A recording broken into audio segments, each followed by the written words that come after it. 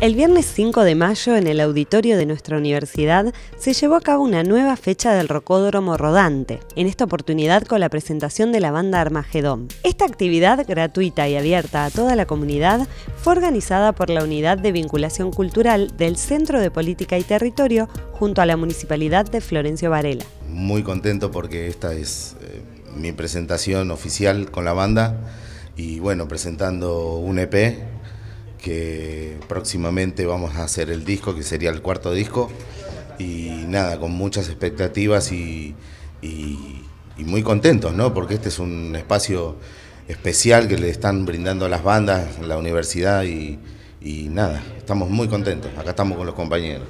Un agradecimiento para la gente de la UNAG, para la gente que hace el Rocódromo, que es un espacio que está bueno porque es un espacio eh, gratuito o sea, eh, puede abarcar a, todo tipo de gente y, bueno, eh, no sé, está bueno porque estamos haciendo una movida solidaria, aparte de eso, que es algo que se programó entre todos los chicos y, bueno, agradecemos por el espacio. Arreando Bestias es un cambio de nombre de Armagedón en el momento de una ruptura que se llevó allá por el, 2016, el 2006 y bueno, decidimos cambiar el nombre de Arreando Bestias. Cuando vuelve Armagedón, Arreando Bestias pasa a ser una banda independiente de lo que es Armagedón, quedan dos bandas hermanadas, entonces es lo que se va a ver esta noche hoy.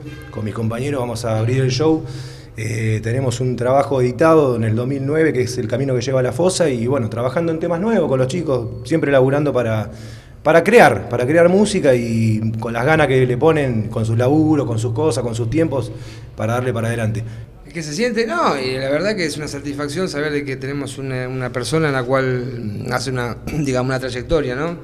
Digamos, en el ambiente del under eh, del heavy metal. Más allá de la trayectoria que tenga, hoy nos damos cuenta que tenemos hoy una persona en la cual eh, le brinda honores al heavy metal en sí, el under, digamos, ¿no? Pero creo que estamos a la altura de poder este, brindar un gran show, tanto como Armagedón y Arriando Bestia, más que ya es una banda nuevita, ¿no?